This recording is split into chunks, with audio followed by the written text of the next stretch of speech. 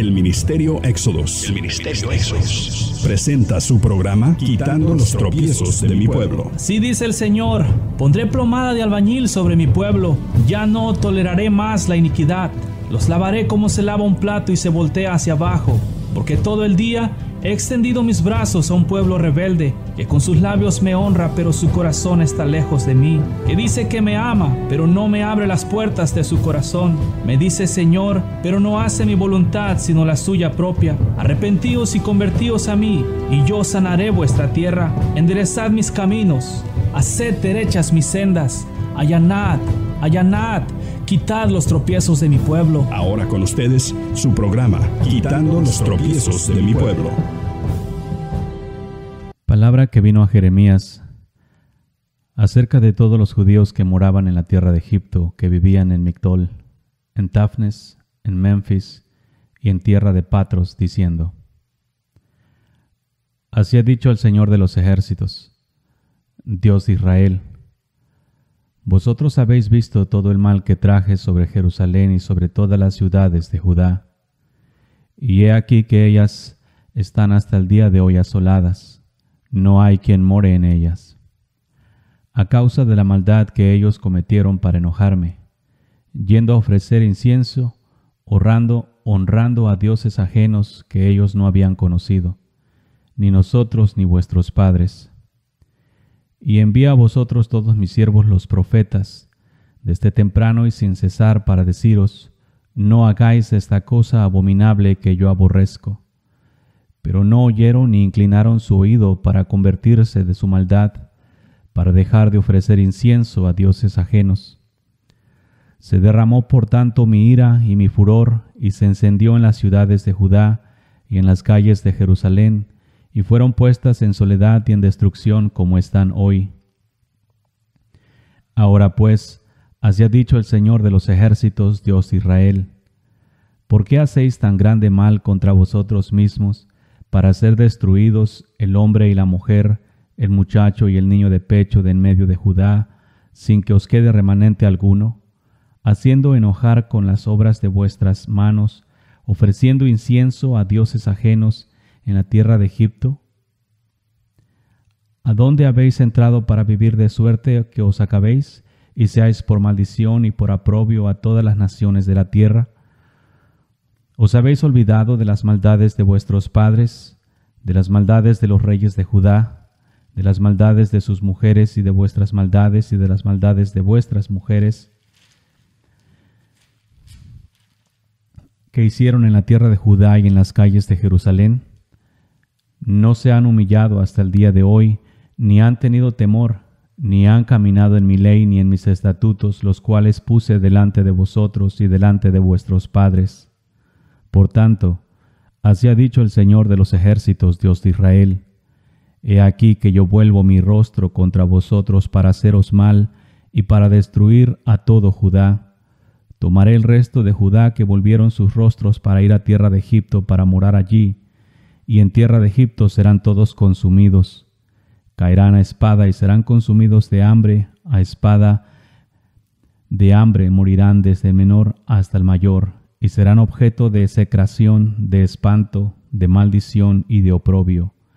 Pues castigaré a los que moran en la tierra de Egipto, como castigaré a Jerusalén, con espada, con hambre y con pestilencia. Y del resto de, de los de Judá que entraron en la tierra de Egipto para habitar allí, no habrá quien escape, ni quien quede vivo para volver a la tierra de Judá, por volver a la cual suspiran ellos para habitar allí, porque no volverán sino algunos fugitivos. Entonces, todos los que sabían que sus mujeres habían ofrecido incienso a dioses ajenos, y todas las mujeres que estaban presentes, una gran concurrencia, y todo el pueblo que habitaba en tierra de Egipto, en Patros, respondieron a Jeremías diciendo, la palabra que nos has hablado en nombre del Señor no la oiremos de ti, sino que ciertamente pondremos por obra toda palabra que ha salido de nuestra boca, para ofrecer incienso a la Reina del cielo, derramándole libaciones como hemos hecho nosotros y nuestros padres, nuestros reyes y nuestros príncipes, en las ciudades de Judá y en las plazas de Jerusalén, y tuvimos abundancia de pan, y estuvimos alegres y no vimos mal alguno Mas desde que dejamos de ofrecer incienso a la Reina del Cielo y de derramarle libaciones, nos falta todo, y a espada y de hambre somos consumidos. Y cuando ofrecimos incienso a la Reina del Cielo y le derramamos libaciones, ¿acaso la hicimos nosotras tortas para atribuirle culto y le derramamos libaciones sin consentimiento de nuestros maridos? Y habló Jeremías a todo el pueblo y a los hombres y a las mujeres y a todo el pueblo que le había respondido esto, diciendo, ¿No se ha acordado el Señor y no ha venido a su memoria el incienso que ofreciste en las ciudades de Judá y en las calles de Jerusalén, vosotros y vuestros padres, vuestros reyes y vuestros príncipes y el pueblo de la tierra? Y no pudo sufrirlo más el Señor a causa de la maldad de vuestras obras, a causa de las abominaciones que habías hecho. Por tanto, vuestra tierra fue puesta en asolamiento y espanto y en maldición hasta quedar sin morador como está hoy porque ofrecisteis incienso y pecasteis contra el Señor, y no obedecisteis a la voz del Eterno, ni anduvisteis en su ley, ni en sus estatutos, ni en sus testimonios. Por tanto, ha venido sobre vosotros este mal como hasta hoy. Y dijo Jeremías a todo el pueblo y a todas las mujeres, Oíd palabra del Señor todos los de Judá que estáis en la tierra de Egipto. Así ha hablado el Señor de los ejércitos, Dios de Israel, diciendo, vosotros y vuestras mujeres hablastes con vuestras bocas y con vuestras manos lo ejecutaste, diciendo, cumpliremos efectivamente nuestros votos que hicimos de ofrecer incienso a la Reina del Cielo y derramarle libaciones. Confirmáis a la verdad vuestros votos y ponéis vuestros votos por obra. Por tanto, oíd el Señor toda Judá que habitáis en tierra de Egipto. He aquí he jurado por mi gran nombre, dice el Señor, que mi nombre no será invocado más en toda la tierra de Egipto por boca de ningún hombre de Judá diciendo, viva el Señor. He aquí que yo velo sobre ellos para mal y no para bien, y todos los hombres de Judá que están en la tierra de Egipto serán consumidos a espada y de hambre hasta que perezcan del todo. Y los que escapen de la espada volverán de la tierra de Egipto a la tierra de Judá, pocos hombres. Sabrá pues todo el resto de Judá que ha entrado en Egipto a morar allí, la palabra que de quien ha de permanecer, sí, la mía o la suya. Y esto tendréis por señal, dice el Señor, de que en este lugar os castigo para que sepáis que de cierto permanecerán mis palabras para mal sobre vosotros. Así ha dicho el Señor, He aquí que yo entrego a Faraón Ofra, rey de Egipto, en mano de sus enemigos y en mano de los que buscan su vida, así como entregué a Sedequías, rey de Judá, en mano de Nabucodonosor, rey de Babilonia, su enemigo que buscaba su vida. Paz y gracia del Señor Jesús contigo, pueblo.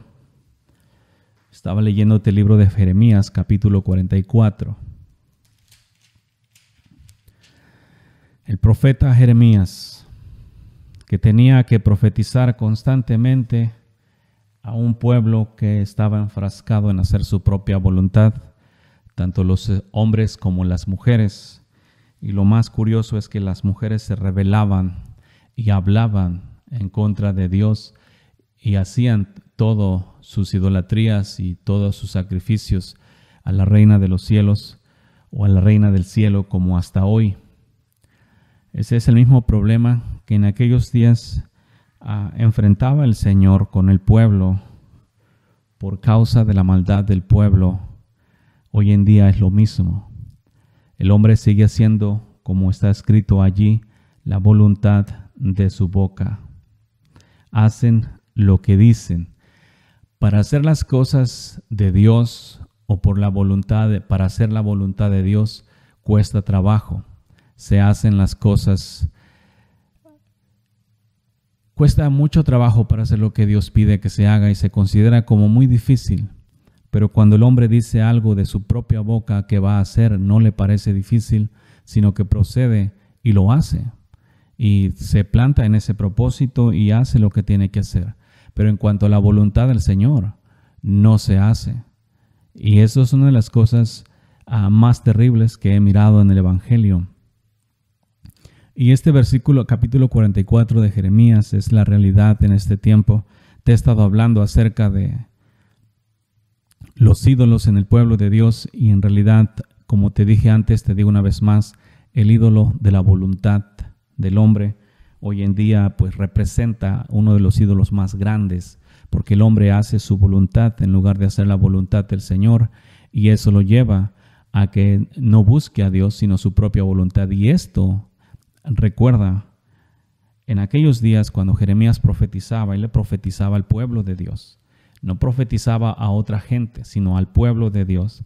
Así también en este tiempo las mismas profecías son para el mismo pueblo de Dios, que aunque hoy en este tiempo se les fue dado el privilegio de vivir conforme la voluntad del Padre, se les fue dado el privilegio de nacer del Espíritu, se les fue dado el privilegio de ser limpiados de todos sus pecados y que ni siquiera te sean tomados por cuenta más. Sin embargo, aunque un privilegio tan grande de ser hechos hijos de Dios, de que tus pecados te sean borrados y ni siquiera pagues la consecuencia de ellos, y del privilegio de nacer del Espíritu Santo, nacer de arriba del cielo, aún con tan grandes privilegios todavía se insiste y se persiste en habitar en la maldad. He mirado esto, es un grande desprecio por Jesucristo. Todos y todavía los que dicen seguirlo, porque con sus labios dicen seguirlo, pero con sus acciones muestran cuando sus corazones se plantan en el propósito de hacer sus propios deseos y su voluntad y ir tras los deleites de su carne, no crucificando la carne con los deseos y pasiones como te había predicado ayer, sino alimentando la carne, las pasiones y, los deseos de la carne por medio del Evangelio o utilizando el Evangelio para alimentar la carne. Esta es una de las cosas más abominables que he mirado en el cristianismo, que están utilizando el Evangelio para nutrir sus carnes, para hacer realidad los deseos de su carne, de sus ojos, de su mente, de su boca, todo por medio del Evangelio de Cristo, simplemente porque no han querido entregarse, como dice ahí en ah, Jeremías 44, pero no oyeron ni inclinaron su oído para convertirse de, de su maldad, para dejar de ofrecer incienso a dioses ajenos. ¿Cuáles son los inciensos ofrecidos a dioses ajenos? Como te dije Hoy, el Dios del ego o de la propia voluntad no necesariamente tiene que tener una imagen. Hoy en día los hombres tienen muy alta estima a este mismo Dios, sí, y lo, lo inciensan haciendo su voluntad. Si la carne tiene ganas de mentir, mienten. Si la carne tiene ganas de adulterar, adulteran. Si la carne tiene ganas de mirar cosas raras, miran cosas raras. Si la carne tiene ganas de pelear, pelea o sea, totalmente entregados a la voluntad de la carne y sus deseos. Todo esto por causa de que no han querido. Yo te lo digo pueblo abiertamente, no has querido conforme a la voluntad del Señor. Los que han querido se han apartado, los que no han querido no se han apartado. Y esto lo mencionamos bien fácil. El que se ha apartado se ha apartado de todo lo malo o no se ha apartado. O sea, la, esa va a ser la, el camino angosto. Maldad y y justicia no van a estar mezclados, es uno o el otro. Todo aquel que esté mezclando la santidad con la maldad es, es malo, o sea, no, no va a haber un espacio entre medio. Por eso es que en estos días, versículo 8 dice, Haciendo, haciéndome enojar con las obras de vuestras manos, ofreciendo incienso a dioses ajenos en la tierra de Egipto, donde habéis entrado para vivir, de suerte que os acabáis y seáis por maldición y por oprobio a todas las naciones de la tierra. ¿Qué se ha hecho hoy en día? Yo te he dicho más de una vez, pero en el cristianismo se resiste, se resiste y se resiste. Lo he mirado. He mirado cómo el cristianismo se resiste y se aferra a vivir en su maldad. He mirado cómo los predicadores te enseñan mentiras. He mirado cómo tú como pueblo te aferras a la mentira y no quieres creer la verdad porque no quieres dejar el pecado, porque simplemente quieres seguir caminando en la inmundicia. Te lo voy a decir claramente, todo aquel que busque pecar es porque en su corazón tiene maldad. Y te lo he dicho antes, antes y muchas veces, pero siempre te lo he dicho con la esperanza de que entiendas y te conviertas y te apartes de los malos caminos. Pero el Señor me ha enseñado que esa no ha sido la condición. Sí, escuchan las palabras, escuchan lo que Dios dice y, y todo eso, pero no lo hacen, no se, no se está obedeciendo la palabra del Señor. Aquí este asunto, te lo he dicho antes, esto no, no, se, no está basado en si te gusta o no te gusta. Esto tiene que hacerse para los que quieran vivir conforme a la voluntad del Señor. Van a tener que apartarse de sus malos caminos desde lo más profundo de su corazón para vivir una vida santa y agradable al Padre. No, no es un asunto más donde nada más digas, amén, yo estoy de acuerdo, es cierto, es verdad, y todo eso, y no se esté apartando. El Señor sigue viendo la condición de tu corazón. Él sigue viendo que de los labios dices que sí, pero en el corazón sigues y terminas haciendo lo malo. Ese es uno de los problemas más grandes hoy en día en el cristianismo por causa del problema que te digo es que con los labios se reconoce lo bueno, pero con el corazón se desea la maldad. Ese es el problema. Y por causa de que con el corazón se desea la maldad, ¿qué se va a hacer? Se va y se hace la maldad. Fíjate, tú sabes y has leído, y si no te lo leo una vez más, Gálatas 6, 7 dice, no os engañéis, Dios no puede ser burlado, pues todo lo que el hombre sembrare, eso también segará. Tú sabes Tú sabes específicamente ese versículo y te si no lo sabes, hoy te lo leo, pero yo te lo he leído muchas veces que no os engañéis, Dios no puede ser burlado, porque todo lo que el hombre sembrare, eso también segará.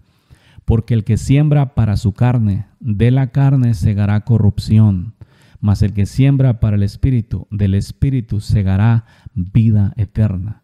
¿Qué, qué está hablando? ¿Qué significa eso? ¿Qué, qué es? ¿Qué significa sembrar para la carne? Bueno, ayer te estaba hablando acerca de estas cosas. Si regresamos a Gálatas 5, en el versículo 19, manifiestas son las obras de la carne. Si tú siembras adulterio, tú vas a cosechar corrupción. Si tú siembras iras, tú vas a cosechar corrupción. ¿Qué es corrupción? Cada vez que tú siembres maldad, tú te estás corrompiendo. Cada vez que hagas lo malo, te estás corrompiendo. Por el otro lado, cada vez, ¿sí? Cada vez que hagas o que siembres para el Espíritu, amor, paz, gozo, benignidad, del Espíritu segará vida eterna. Estas cosas no es un juego, pueblo. Y te lo digo abiertamente, ¿sabes por qué? Porque en realidad puedo mirar tu corazón.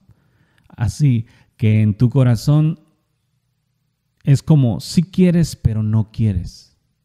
Y la verdad es que no quieres. El sí quieres porque sabes qué es lo que tienes que hacer, pero no quieres hacerlo. Por eso, es, por eso se dice, no, yo sí quiero porque sabes que tienes que hacerlo, porque sabes que eso es lo que debes hacer, pero no quieres hacerlo en realidad. Por eso te encuentras en ese conflicto de que sí quiero, pero no lo logro, o sí quiero, pero no alcanzo a hacerlo. ¿Por qué? Y a causa de eso sigue sembrando para corrupción. Te voy a preguntar algo. ¿Tú crees que la corrupción va a heredar vida eterna? Cuando tú te corrompes, la, corrupción es, muy mala a los ojos de Dios. ¿Sí? Vamos a decir, tienes un vaso de agua limpio y lo corrompes. Tu cuerpo espiritual nacido de arriba, eh, empecinado con maldad, lo corrompes. Este es uno de los problemas y es el más grande. Y yo te lo digo ahora, no es porque seas esclavo del pecado, no es porque esté difícil, no es que necesites hacer otras cosas, lo que necesitas hacer es, dame, hijo mío, tu corazón. Querer de todo el corazón. Porque esta forma de vida, ahorita que estaba leyendo el, libro de Jeremías 44, prácticamente iba viendo la forma de vida, no del pueblo antiguo, la forma de vida del pueblo de ahora. Porque la forma de vida del pueblo de ahora es totalmente similar, se han regresado a Egipto. ¿A dónde viven? ¿Cuál es la forma de vida del pueblo de Dios hoy en día? Practican las mismas cosas, los rudimentos de Egipto, la forma de Egipto, la forma de vida, acciones, palabras, o sea, todo en, en, en conjunto, no hay una separación, o sea, simplemente está yéndose de una forma similar, haciendo su propia voluntad. Te lo leo de nuevo y nos vamos a ir por pedacitos. Así ha dicho el Jehová, así ha dicho Jehová de los ejércitos, Dios de Israel. Jeremías 44, versículo 2. Vosotros habéis visto todo el mal que traje sobre Jerusalén y sobre todas las ciudades de Judá, y aquí ellas están, y he aquí que ellas están el día de hoy asoladas, no hay quien more en ellas. Eso está curioso, porque si tú miras hoy a Jerusalén y Judá, pues aparentemente están llenas de, de mucha gente. Pero ponle atención, hay otras ciudades que están más llenas que ellos. Con todo eso en el espíritu, he mirado y como, sí, la escritura dice que bendiga a Israel, pero Israel necesita arrepentirse, que Dios lo bendiga y le conceda el arrepentimiento para que miren al que traspasaron. Pero en cuanto a pecado se refiere, hoy en día los hombres de aquí de esta tierra se van para Jerusalén, que porque es la ciudad santa, pero en realidad está llena de inmoralidad sexual, llena de pecado, como en los días antiguos. Israel siempre tuvo la costumbre de hacerse idólatra e irse tras los ídolos. Entonces, si vas a orar por Israel, ora para que se convierta de sus malos caminos, para que se aparte de su maldad, para que reconozcan a Jesús el Cristo como el verdadero Mesías, a Yahshua como ellos sería en su, en su lenguaje. Con todo y eso, a causa, fíjate por qué pasó eso. Y tú lo has visto, tú has visto, tú como cristiano que lees la escritura, si tú regresas a leer la escritura desde los días antiguos cuando eh, Israel fue sacado de Egipto y cómo fue pasando y todas las cosas que le fueron pasando. Y si tú le pones atención, todo lo que le pasó a Israel, cuando todas las calamidades vinieron por causa de su maldad. Tú has mirado cómo Dios castigó a Israel y la forma de vida tan dura que tuvo Israel por causa de su propio pecado. Pero tú como pueblo hoy en día no has cambiado tus caminos, no te has concentrado en agradar al Padre simplemente porque ni viendo, ahora sí que ni viendo en la manera en la que Dios trató al Israel antiguo, hoy simplemente se, se, están dando por dados de que no, ya somos de Cristo, de que el Señor Jesús pagó por nuestros pecados. Si Jesús hubiera pagado por tus pecados, tú estarías libre de pecado. Todo aquel que no está libre de pecado, no así, ahora sí que no no ha recibido la libertad del pecado, sino al contrario, estás simplemente caminando en maldad todavía. Necesitas arrepentirte. Si tú miras el antiguo y te das cuenta que Israel la pasó mal, le fue mal, fue entregado a Babilonia, fue entregado a los sirios, fue entregado a los filisteos, o sea, muchas gentes los destruyeron por causa de su propio pecado. Hasta el día de hoy todavía Israel tiene pleitos con los pueblos que siempre ha tenido pleitos. ¿Por qué? Por causa de su propio pecado. Así que si vas a orar por Israel, ora para que Dios le conceda el arrepentimiento, para que miren al que traspasaron y se arrepientan y se conviertan de sus pecados. Ahora, a causa de la maldad de ellos, a causa de la maldad que ellos cometieron para enojarme, yendo a ofrecer incienso, honrando a dioses ajenos que ellos no habían conocido, ni, ni vosotros ni vuestros padres. ¿Qué es lo que hace enojar a Dios? El ofrecer incienso a otros dioses. ¿Cuáles son los dioses que en estos días podríamos mencionar en estos tiempos? Bueno, el dinero es uno. El dinero es un, es un dios y desafortunadamente por medio del dinero se pueden comprar muchas otras cosas que se convierten en dioses. Entonces, como te he dicho antes, en realidad cualquier cosa que tú ames más que a Dios, que te quite el tiempo de Dios, que te quite la oración, que te quite la lectura, que te quite la meditación, que te quite las obras de justicia, cualquier cosa que impida que tú seas justo, puro y santo en frente de Dios, eso es un Dios para ti. Ahora, no es que lo estén impidiendo por fuerza, es que tú te estás entregando a ese deseo. Y cuando, porque ahora somos libres. Todo hombre hoy en día es libre. El que esté esclavizado en, o sirviendo culto a cualquier dios es porque así quiere servirle. Esto estoy hablando en dioses en, en, forma espiritual que te están robando. Ciertamente hay muchos dioses como la Iglesia Católica tiene toda la santería que tiene y cualquier persona que le rinda culto a esos dioses, pues en realidad está haciendo enojar a Dios. Fíjate, otra vez te lo repito, a causa de la maldad que ellos cometieron para enojarme para enojarme, yendo a ofrecer incienso, honrando a dioses ajenos. ¿Qué significa honrar? Significa obedecer. Si tú obedeces a la carne, la carne para ti es un dios. La carne tiene muchas maneras, muchos deleites. A cualquier deleite que tú obedezcas de la carne, estás honrando a la carne.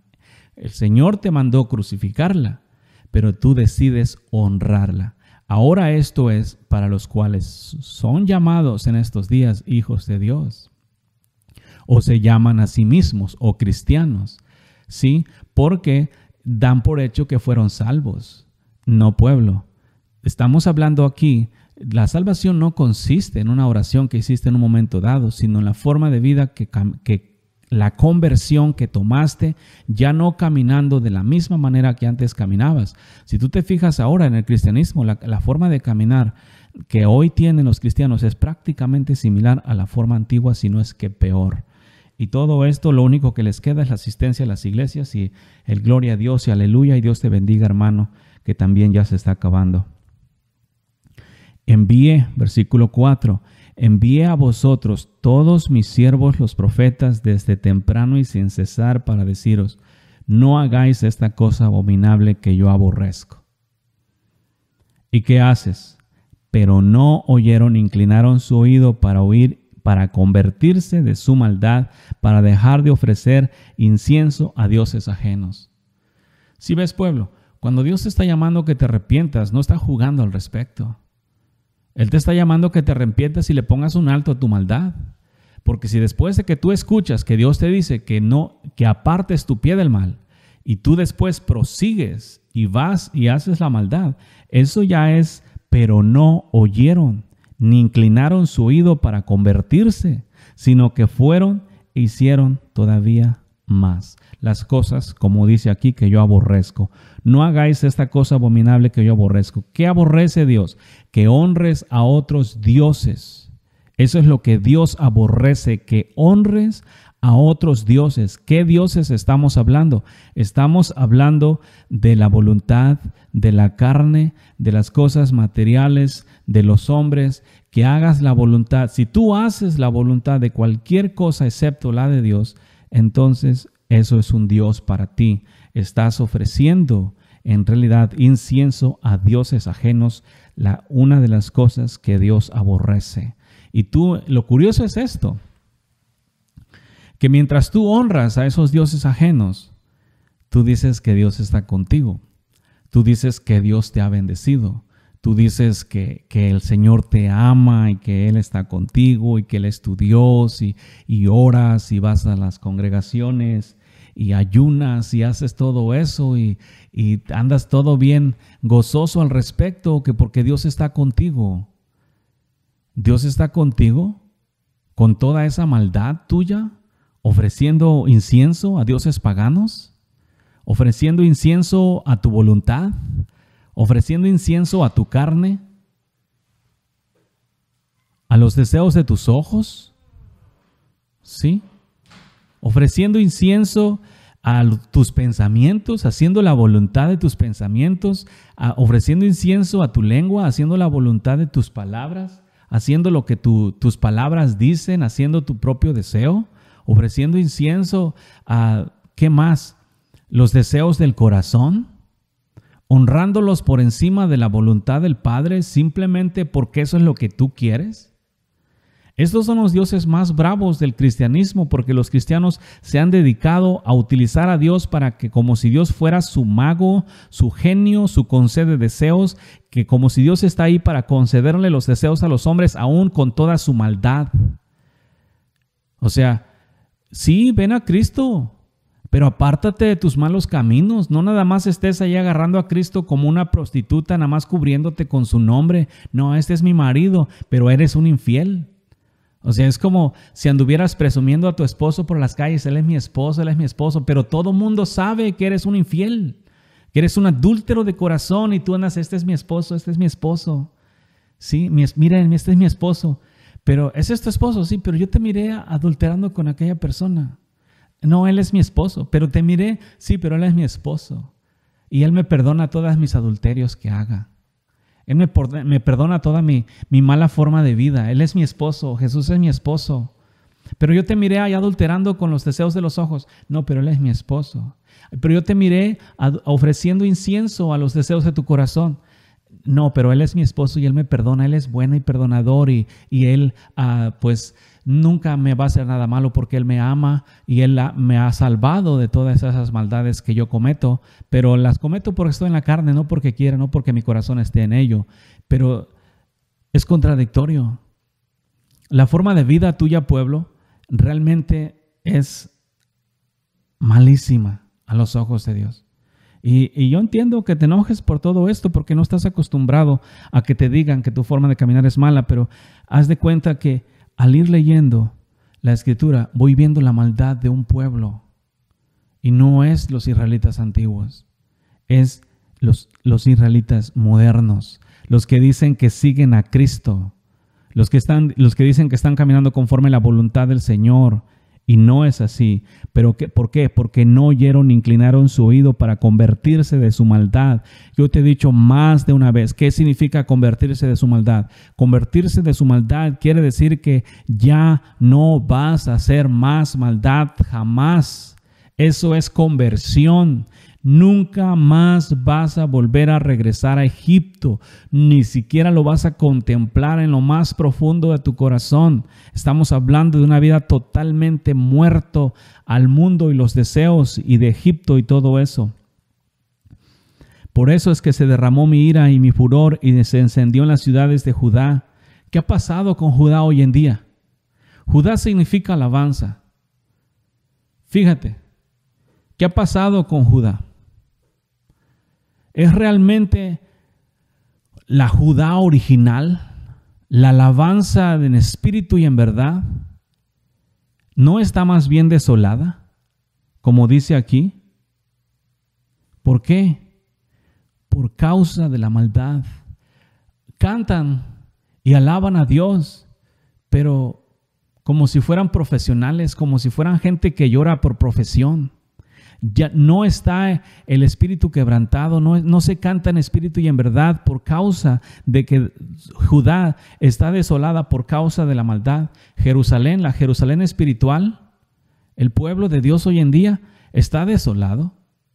¿Sabes cuál es el asunto? ¿Por qué se sienten bendecidos? Están muertos, pobres en el espíritu, o sea, no, no nutridos en el espíritu, pero bendecidos económicamente. ¿Sí? Y, por causa de que están bendecidos económicamente o, tienen una, una, vida más o menos, ya con eso se dan por hechos. Eh, los cristianos buscan mucho las bendiciones terrenales y utilizan a Dios para que las bendiciones terrenales sean proveídas. Pero ¿qué hay del espíritu? Mira la sequedad en tu espíritu. Por eso siempre están clamando, ven a mí, Señor, derrama tu fuego, lléname con tu presencia. Esas son palabras claves que dan testimonio de la necesidad interna de un espíritu que necesita a Cristo, pero que como que no se lo pueden dar porque el dueño del espíritu anda afanado en las cosas de la tierra. Ahora pues, dice, se derramó mi ira y mi furor y se encendió en las ciudades de Judá y en las calles de Jerusalén y fueron puestas en soledad y en destrucción como están hoy. Tal vez la Judá física y la, Israel y la Jerusalén física no estén desoladas de gente, pero la Judá espiritual y la Jerusalén espiritual sí están desoladas, están vacías, están muertas por causa de la misma maldad y tú sabes estas cosas. Tú sabes que tienes que estar constantemente pidiendo perdón por tus pecados para que mínimo recibas una migaja de la presencia de Dios. Hoy en día la, Judá está tan desolada que los hombres tienen que esforzarse para llorar, que incluso ya no pueden llorar con las alabanzas. Ya simplemente escuchan la alabanza y no sienten nada. ¿Por qué? Porque los mismos que cantan las mismas alabanzas están igual de vacíos y en sus clamores dan testimonio de esta soledad. Y es la realidad en estos días. ¿Por qué esa, por qué esa soledad espiritual? ¿Por qué ese vacío espiritual? ¿Por qué esa hambre interna? Porque se han apartado de Dios y no han caminado conforme sus caminos. Y lo que han hecho es esto. Por eso es que los hombres en el Evangelio están tan llenos de actividades se concentran en sus puestos y en las prédicas y en hacer actividades aquí y allá, eventos aquí y allá, porque eso los mantiene ocupados y piensan en sus mentes y en sus corazones que están haciendo la voluntad de Dios. Yo los he visto He visto las oraciones tan pusilánimes que hacen como que si está Dios con ellos, pero por causa de la maldad Dios no está. Hacen sus oraciones largas y buscan utilizar las palabras que a veces también se acaban y andan creyendo que realmente todas esas cosas las están disfrutando cuando no las están disfrutando por causa de la misma maldad interna. El problema ahorita, pueblo, quiero que entiendas bien, es la sequedad en el espíritu, la sequedad interna, el vacío interno de Dios en tu interior. Tú sabes bien que todas las actividades que haces no te satisfacen. Tú sabes bien como pueblo de Dios y no encuentras satisfacción en todas las actividades cristianas que estás haciendo, porque eso no depende de eso, sino depende de que Cristo esté en ti. Ahora pues, así ha dicho el Señor de los ejércitos, Dios de Israel, ¿por qué hacéis tan grande mal contra vosotros mismos? ¿Sí? ¿Por qué hacéis tan grande mal contra vosotros mismos para ser destruidos? El hombre, la mujer, el muchacho y el niño de pecho en medio de Judá sin que os quede remanente alguno.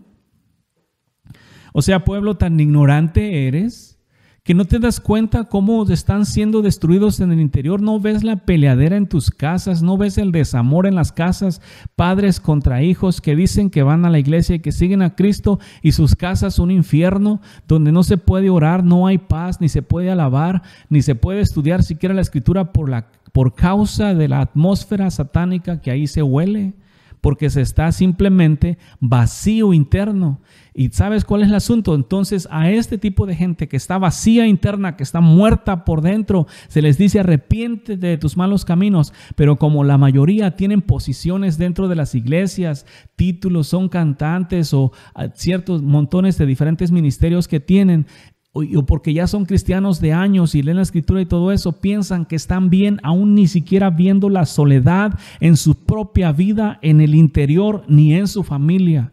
Eso es súper peligroso, eso es una ceguera súper terrible. Entonces viene el Señor a decirte, arrepiéntete, conviértete de tus malos caminos. Y dice, pero ¿de qué me voy a arrepentir? ¿De qué me voy a convertir? Yo voy a la iglesia, yo ya me convertí, yo ya creí en ti. Hace muchos años yo creí en ti, me convertí, me bauticé, doy mis diezmos, estoy en la iglesia los días que tienen servicio, pero estás vacío por dentro. Es pura religiosidad externa y te está trayendo maldad todavía. Sigues sembrando corrupción por causa de tu vacío de Dios, por causa de, la, ah, de estar vacío de Dios en tu interior. Sigues sembrando maldad y maldad y maldad y siembras amor hipócrita y siembras oraciones fingidas y siembras ayunos hipócritas y siembras una forma de vida tibia. Y, pero tú piensas que estás haciendo las cosas bien haciéndome, versículo 8, haciéndome enojar con las obras de vuestras manos. ¿Ves? ¿Cómo se enoja Dios? Dios se enoja por las obras de tus manos. Fíjate qué obras estás haciendo. No, no estés poniendo tus ojos en tu religiosidad externa, en las actividades en tu iglesia. Fíjate las obras de tus manos. Las obras de tus manos incluyen tus ojos, qué ven, incluyen tus oídos, qué escuchan, incluyen tu boca, qué hablas, incluye todo lo, lo que hagas. Cuando la escritura dice obras de tus manos, está viendo todas las acciones que haces en pensamiento o aún en las intenciones del corazón. ¿Sí? ofreciendo inciensos a dioses ajenos en la tierra de Egipto, donde vivías, habéis entrado para servir para servir, de suerte que os acabéis y seáis por maldición y por aprobio a todas las naciones de la tierra. En otras palabras, está diciendo, es mejor morir que vivir de esa manera. Os habéis olvidado de las maldades de vuestros padres, de las maldades de los reyes de Judá y de las maldades de sus mujeres y de vuestras maldades y de las maldades de vuestras mujeres y que, que hicieron en la tierra de Judá y en las calles de Jerusalén. No se han humillado como hasta el día de hoy, ni han tenido temor, ni han caminado en mi ley, ni en mis estatutos, los cuales puse delante de vosotros y delante de vuestros padres. Eso es segurísimo. Como pueblo de Dios, no te lo digo así al tanteo, te lo digo segurísimo, no estás caminando en la ley del Señor. Porque por gracias a los, a los hechiceros de tus predicadores que te dijeron que no tenías que obedecerla, ahora ya no la estás obedeciendo, que porque el Señor nos libró de la maldición de la ley, que el que obedece la ley está maldito. Ah, ah, Jesús no vino para abolir la ley, sino para cumplirla. Y si Él vino a cumplirla, nosotros también la cumplimos. Sí, pero hoy en día no se quiere obedecer la ley. ¿Y qué trae? no se han humillado hasta el día de hoy, ni, se, ni han tenido temor, ni han caminado en mi ley ni mis estatutos, los cuales puse delante de vosotros y delante de vuestros padres. Por tanto, así ha dicho el Señor de los ejércitos, he aquí que yo vuelvo mi rostro contra vosotros para mal y para destruir a todo Judá.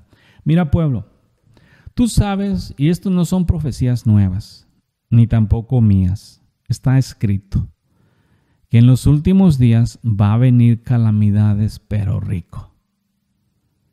Y ya estamos en los últimos días. Sí, aún no es el día último, pero ya estamos en los últimos días. En el preludio de los dolores. ¿Sí?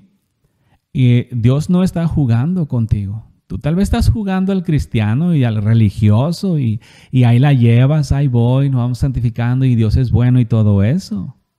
¿sí? Pero Él no está jugando contigo. Él da la espalda a su pueblo por causa de esa maldad. ¿Y sabes dónde te va a dar la espalda? Te va a dar la espalda cuando todas esas calamidades vengan y empieces a recibir las calamidades por causa de tu mala forma de conducta, porque Dios no va a guardar a los rebeldes, ni va a guardar a los hijos de desobediencia, Él va a guardar a los escogidos. ¿Por qué escogidos? Ser escogido no es casualidad. Escogido es una persona que se consagra a Dios, un hombre que se consagra a Dios para agradarlo. No que está, bueno, a ver si Dios me escoge. No, eso no es escogido. No es escogido una persona que es diligente, que a su fe añade virtud y a la virtud conocimiento y al conocimiento dominio propio y el dominio propio paciencia y a la paciencia amor fraternal, el amor fraternal amor y, ahí, y va para adelante. O sea, es diligente en su forma de vida. No nada más está esperando, bueno, espero Señor que sea uno yo uno de los escogidos, porque hoy en día las cosas de Dios nada más son a pura esperanza. Pues no, pueblo, entiéndelo bien. No es de esa manera ni va a suceder así, porque Dios claramente dice, por tanto, ha dicho el Señor de los ejércitos, Dios de Israel, he aquí yo vuelvo mi rostro contra vosotros para mal y para destruir a todo Judá. Ah, ahí es donde Dan ganas de pedir a Dios misericordia con todo el corazón. ¿Por qué va a destruir? Va a destruir la alabanza porque es muy mala en estos días. Va a destruir el ministerio o las personas que están en el ministerio ahorita porque es muy mala. En otras palabras, o se renuevan o dejan de hacer lo malo o van a ser quitados porque es malísima. Dios está ahora sí que con las espaldas a las alabanzas del pueblo. Porque los cantos, te digo, porque yo he buscado cantos para ponerlos en Radio Éxodos y ahora sí que nada más los pongo para rellenar tiempo, para no atormentarte con poner prédicas todo el día. Porque para muchos la neta es un tormento. En lugar de utilizarlas para buscar salvación, para aferrarse Gracias a Dios ha habido pueblo que está abriendo sus ojos, pero de la grande mayoría simplemente la tiran a la espalda. Pero no importa, yo voy a seguir predicando como quiera, sea uno que escuche o los que tengan que escuchar para convertirse de sus malos caminos. Por tanto, pero que te quede claro, si tu forma de vida no es buena, Dios te va a dar las espaldas. Tú puedes decir, no, pero es que Jesús me ama, sí te ama. Yo no estoy cuestionando su amor para contigo. Yo estoy cuestionando tu amor para con Él. ¿Nos entendemos? Yo sé que tú ama, Él te ama y no hay nada que pueda separarte de su amor. Eso significa que no hay nada que hagas tú en la tierra que ocasione que Dios deje de amarte. Pero eso no significa que tú lo, lo vas a amar de la misma manera. ¿sí? Del, amor de Dios para contigo no tengo nada que decirte porque Él te ama con amor eterno. Tu amor para con Dios es el cuestionable. Ese es el cuestionable, ese es el que está mal, ese es el que está defectuoso, porque si me amaras, mis mandamientos guardarías y los mandamientos de Dios hoy en día no están siendo guardados así abiertamente, te lo digo. Y eso lleva en realidad a que tu amor para con Dios sea cuestionable. El amor de arriba para abajo, eso sí va a venir, pero entonces ¿por qué dices que me va a dar las espaldas? Él no te va a dar las espaldas porque no te ame. Él te va a dar las espaldas para no destruirte. ¿Te acuerdas como Moisés? Dijo, sí, vas a mirar, pero nada más mis espaldas. ¿Por qué? Ve para atrás y léelo. Porque la presencia de Dios es cosa seria. Pero por causa de tu maldad te da las espaldas. El que Dios te dé las espaldas, aún eso es protección. Porque si se voltea su rostro contra ti, mm, no queda nada ni de esta tierra. ¿Sí? Por eso Dios es bueno y misericordioso, pero ahora sí que, como dice la Escritura, no se tiene en cuenta que su benignidad te guía al arrepentimiento, sino lo que se ha hecho hoy en día es que la benignidad de Dios te ha llevado al libertinaje. No, pueblo, no porque Dios te, te ame vas a andar como prostituta barata. No, si al contrario, ya porque Dios te ama, te vas a arrepentir de tus caminos y te vas a convertir a Dios con todo tu corazón. Porque si, si tú no te arrepientes, vas a tener problemas. Y eso es para todos los pecadores, no importa qué pecado estén cometiendo, cada uno está llamado a arrepentimiento. Por eso Dios ama a todos, para que todos puedan venir a Él, pero no todos eligen venir a Él. Por eso yo te aconsejo, pueblo, en el nombre del Señor Jesús, que te arrepientas y te apartes de tus malos caminos porque Dios no está jugando. Tú puedes estar jugando al cristiano, tú puedes estar pretendiendo que vas camino al cielo, pero Dios no está jugando. En Él las cosas son rectas. Por eso te estoy hablando de esas cosas. Tú puedes decir, ah, no, pero Jesús murió por, por mí. Sí, pero todavía es peor. Jesús murió por ti para que tú no caminaras más en la inmundicia ni en el pecado. ¿Y qué has hecho? Pisotear su sangre. Has echado al piso su sangre y la has pisoteado.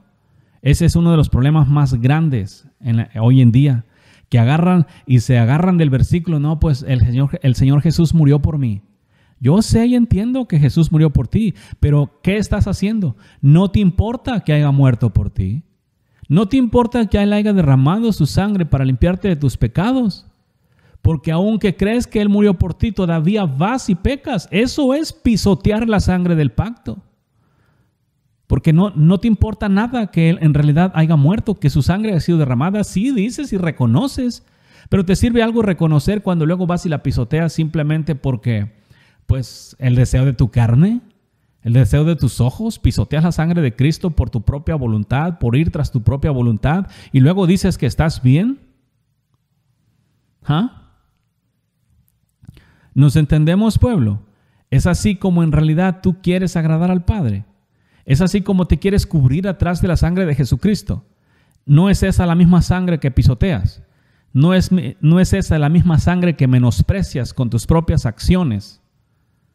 Y luego dices, soy débil. No es Jesús el fuerte, el poderoso, el santo, el sublime y que no hay nadie que pueda vencer. Y tú lo dices, dices que sigues a Él y todavía ¿Confiesas también que eres débil? ¿No es eso una muestra de incredulidad e idolatría? ¿Buscando tu propio deseo y tu rebeldía?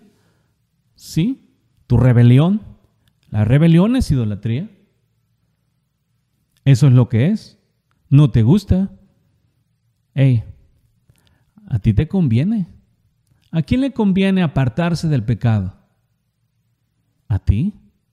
¿A quién le conviene vivir en santidad? ¿A ti? ¿A quién le conviene pasar la eternidad con el Padre? ¿A ti? Entonces, ¿por qué tanto no te gusta el Evangelio como te lo predico? ¿Por qué no cambias tus caminos? ¿Por qué no eliges vivir en santidad antes que estar buscando montones de excusas para no vivir sin pecado? Tú sabes bien que no ninguna persona con pecado va a entrar al reino de los cielos. Sin embargo, tienes la esperanza que te acepten a ti. Fíjate, y tomará el resto de Judá que volvieron sus rostros para ir a tierra de Egipto, para morar allí en la tierra de Egipto, y serán todos consumidos. Caerán a espada y serán consumidos de hambre, a espada de hambre morirán desde el menor hasta el mayor, y serán objeto de secreción, de espanto, de maldición y de oprobio. ¿A quién? A Judá. ¿Quién es Judá? La alabanza. Todo el ministerio de alabanza aquí en esos días existe. Si no está haciendo alabanza en el espíritu y en verdad, va a ser destruido, como dice aquí. ¿Sí? ¿Por qué? Porque pusieron sus ojos para mirar a Egipto. Dice claramente, entraron en tierra de Egipto para habitar allí. ¿Y qué han hecho? Habitar en Egipto. ¿Qué es habitar en Egipto? Hacer las cosas que en Egipto se hacen. Pecado. El que hace pecado habita en Egipto. Seas quien seas, el que comete pecado habita en Egipto, y Judá y Jerusalén cometieron ese grande error de regresar a Egipto para, para habitar allá. Y aún el Señor envió al profeta Isaías, a Jeremías en aquellos días para decirles, no se vayan, sálganse de ahí, pero no quisieron. Así es como en estos días se te ha dicho, salte de Egipto, ¿qué camino es el más rico? Bueno, habitar en Egipto y ser hijo de Dios. Ese es el camino más rico hoy en día a los ojos de los hombres, porque están en Egipto, tragándose los deleites del mundo, pero al mismo tiempo son hijos de Dios. Ese camino es el camino tibio que Dios dijo que no caminaras en él porque de cierto morirías. Sin embargo, hoy en día para los cristianos es el camino más deleitable. Quieren pecar, quieren hacer todo lo que tienen que hacer, satisfacer sus deseos carnales en la carne y luego también quieren tener la apariencia de santidad y, y sigo a Cristo y mi Señor me ama y mi Señor aquí y agarrar versículos aquí y allá. No, pueblo, esas cosas se acabaron. O vas a seguir a Cristo o no lo vas a seguir. Pero sabe bien que Dios conoce tu corazón y cuando te empiezan a venir todas las calamidades, y por eso a muchos les están viniendo, les vienen las calamidades de, por causa de su maldad y simplemente se agarran y dicen, ah, es el diablo, hermano, el diablo. Todo el tiempo la culpa le echas al diablo. Yo te voy a decir una cosa, cada cosa mala que te venga, por así decirlo, o como lo que está aquí escrito, no viene por el diablo, viene por la mano de Dios por causa de tu rebeldía.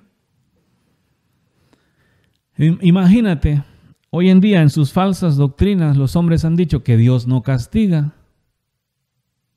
Imagínate. Entonces, cuando viene el castigo, no, pues ese no es Dios, es el diablo. No, de Dios vienen todas las cosas. Él es el único Señor y Rey y el diablo es un instrumento. Y tú miraste cómo usó a Faraón, de la misma manera utiliza al diablo hoy en día. ¿Sí? Así como le dio permiso para con Job, así le va a dar permiso para contigo. ¿Tú crees que el diablo no está pidiendo ah, permiso para darte tus revolcadas brutas?